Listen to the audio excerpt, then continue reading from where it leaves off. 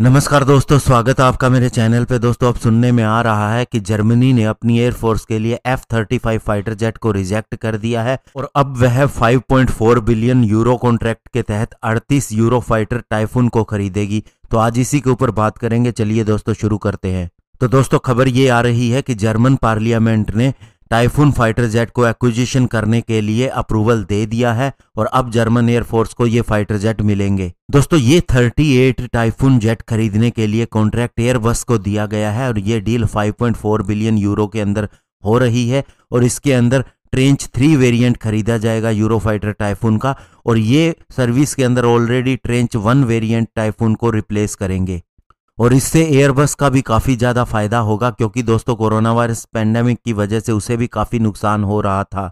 और German parliament का ये डिसीज़न जिसके तहत 38 यूरो फाइटर टाइफून खरीदे जाने हैं, इसे क्वाड्रिगा प्रोजेक्ट कहा जा रहा है और ये एक स्ट्रॉन्ग मैसेज है, न केवल जर्मन एयरफोर्स के लिए, बल्कि पूरे यूरोप के लिए, क्योंकि यूरोपियन डिफेंस मैन्युफैक्चरर काफ़ी ज़्यादा उम्मीद लगाए बैठे थे इससे। और एयरबस डिफेंस और स्पेस के chief executive officer Dirk Hoke का कहना है कि इससे कम से कम एक लाख जॉब्स पैदा होंगी। और दोस्तों, इस ट्रेंच थ्री टाइफून के अंदर बहुत ही ज़्यादा अपग्रेड किया गया है। अगर इसका कंपैरिजन करें ट्रेंच वन मॉडल के साथ में, इसके अंदर एक कॉन्फॉर्मल फ्यूल टैंक है, फाइबर ऑप्टिक केबल है, साथ ही कंप्यूटर का भी अपग्रेड किया गया है। और इसके अलावा ए ए रडार है, जो किसी भी 4.5 जनरेशन फाइटर जेट के लिए बहुत ही ज़्यादा क्रूशियल माना जाता है। और अभी जर्मन एयरफोर्स के पास में 141 यूरो फाइटर टाइफून है, जिनमें से दो फाइटर जेट का नुकसान हो गया था जब मिड एयर वे कोलाइड कर गए थे, टकरा गए थे एक दूसरे से।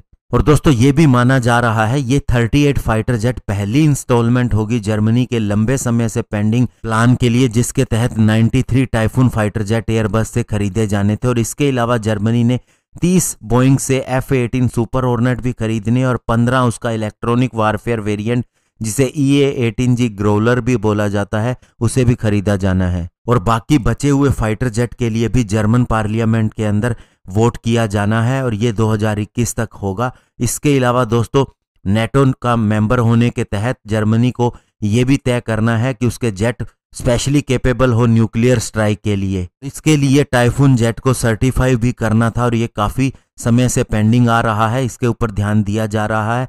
लेकिन दोस्तों न्यूक्लियर कैपेबल पेनेविया टोर्नेडो जो जर्मनी के पास ऑलरेडी हैं, इन्हें 2025 से 2030 के बीच में रिटायर होना है तो ऐसे में ये डिसीज़न जल्द आ सकता है।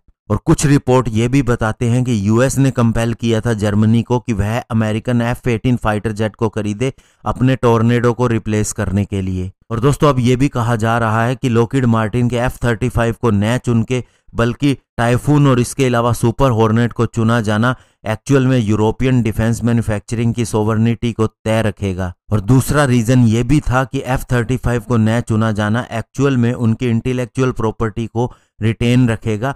और साथ ही दोस्तों, इससे एक European national test and evaluation centre जो जर्मनी के अंदर है, वो भी अपना काम करता रहेगा। और इससे जर्मनी का, फ्रांस के साथ भी रिलेशन अच्छा रहेगा, क्योंकि वह उसका पड़ोसी देश है, और साथ ही यूएस के साथ इनका कंपटीशन चलता रहता है, और अभी डसोल्ट और एयरबस दोनों मिलके एक प्रोजेक्ट के ऊपर काम कर रहे हैं, जिसके अंदर नई जनरेशन का फाइटर एयरक्राफ्ट बनाया जाना है, जो टाइफून और राफेल दोनों जो सर्विस के अंदर हैं, इन्हें रिप्लेस करेगा। धन्यवाद, जय हिंद।